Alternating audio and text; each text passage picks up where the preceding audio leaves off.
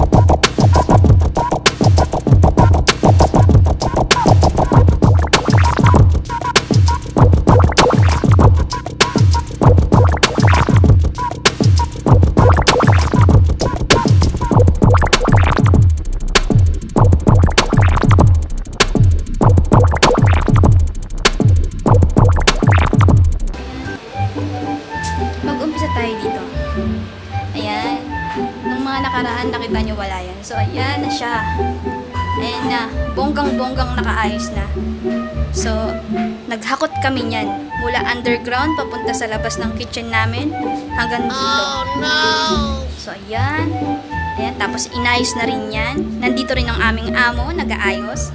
So, kailangan nandito siya para isahang gawaan lang. Kasi kapag hinakot mo tapos wala siya, burot ka bes, burot.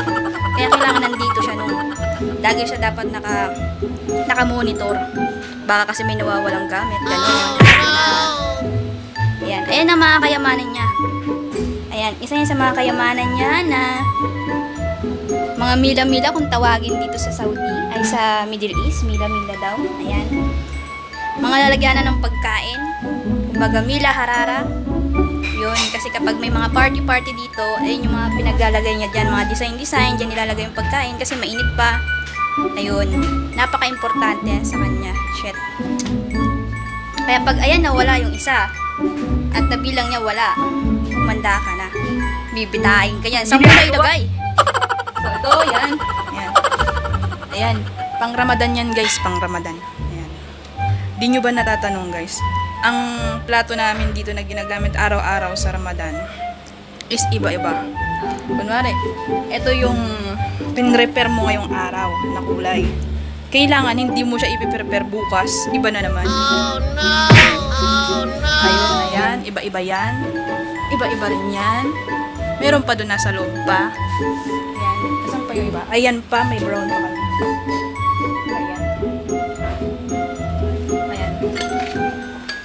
guys, ayan, nakikita nyo yan. Ito, lalagyanan niya ng shurba. Shurba, kumbaga soup. Ayan. Diyan maglalagay. Dami nilang alam, no? Ayan, may paganyan-ganyan pa. Ching! Lalagyanan niya ng soup.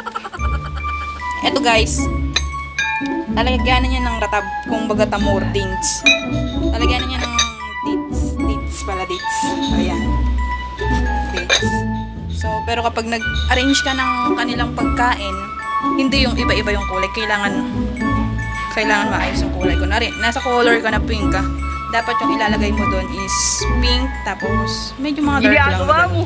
Kapag nalagyan mo yung pink, tapos napunta ka sa itim, napunta ka sa gold, patay ka. Gir-gir.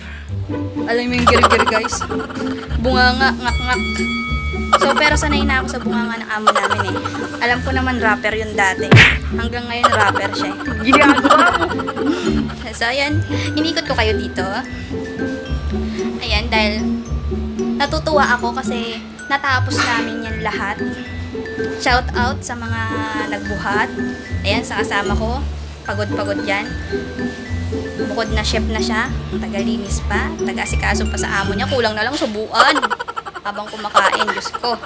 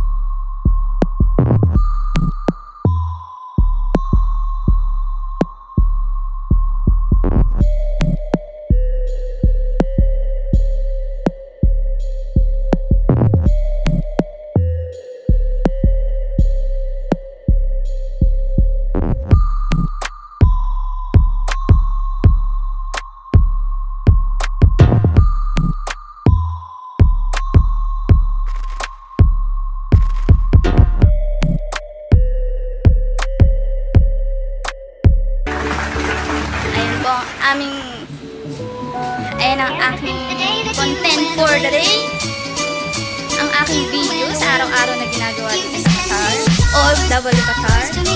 Yan, mga domestic helper. Kami ay isang mga kalaban. So yun guys, bago tayo maglabahan hanggang dito na lang po ang aking vlog for the day.